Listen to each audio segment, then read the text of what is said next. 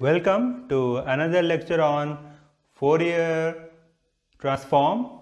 So today we will see very interesting property or interesting formula of Fourier transform that is how to find the Fourier transform of derivative of a function means if f of x or f of t is given then how to find the Fourier transform of f dash x or f dash t.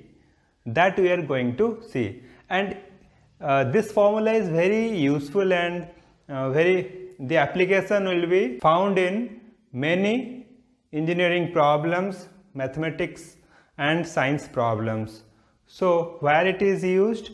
So when we solve uh, differential equation ordinary differential equation or partial differential equation then we go through the exact method. So exact method will be complicated many times okay? So to avoid the complicacy we can go with the transformation method or Fourier transform we can apply.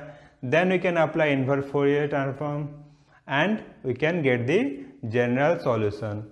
So first here we will see how to derive the formula okay? So before deriving the formula we, we need to see the statement okay? So the statement says let f of x be continuous function on x axis and f of x tends to 0 when mod x tends to infinity. So mod x tends to infinity means x tends to infinity and minus x tends to minus infinity okay?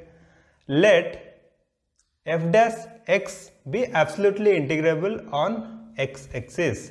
Then what we have? The Fourier transform of f dash x will be IW Fourier transform of f of x. So we'll uh, now solve it. So how to do? So Fourier transform of f dash x okay? So this if we write the formula and in, in place of f we, if we write f dash x then it will be square root of 2 pi means 1 by square root of 2 pi integration from minus infinity to infinity f dash x e to the power minus iwx dx. So this is the formula. Now how to solve this formula if you see there is two function in this integral there, there are two functions one is f dash x another is e to the power minus iwx. So what we will do we can take one as first function and another as second function. If I take first function, second function and apply integration by part rule, then we can solve it. So let us do that.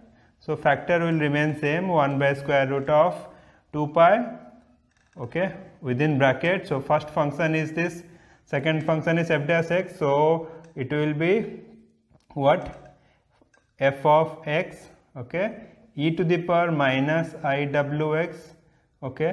And the limit is minus infinity to infinity okay? That we have to do. What we have done here we have taken the integration of f dash x okay? And we have kept the first function as it is and solved okay? Like this.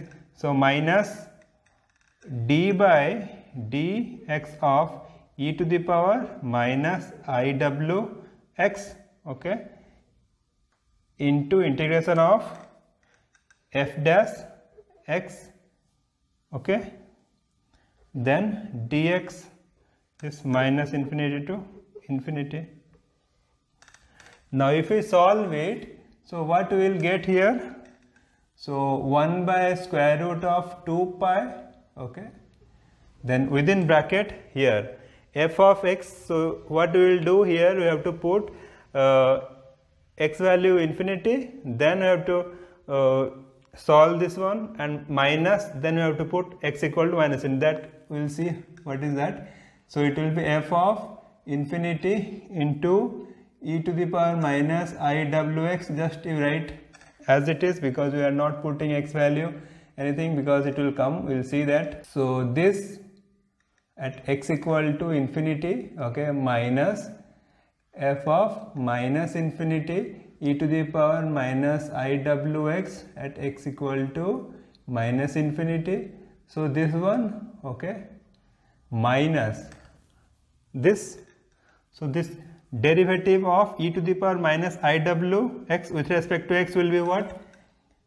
Minus iw into e to the power minus iwx okay. Then f of x this one dx minus infinity to infinity okay now here how to find f of the infinity f of minus infinity that we have to see here we saw f of x tends to 0 for f of x tends to 0 for mod x tends to infinity. Mod x tends to infinity means what? X tends to infinity then x tends to minus infinity. So both the case f of x will be 0 or tend to 0 okay so this means what? Minus infinity less than x kind of this we can write. Okay. So when both the value uh, x value is infinity minus infinity both the uh, case f of x will be 0.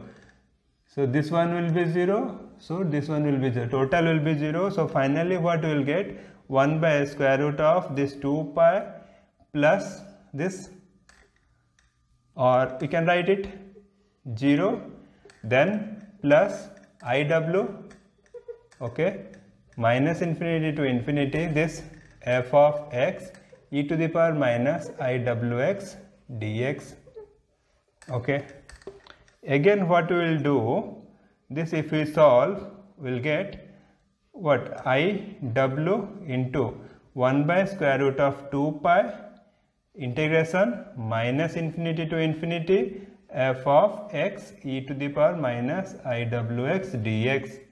But what is this integral?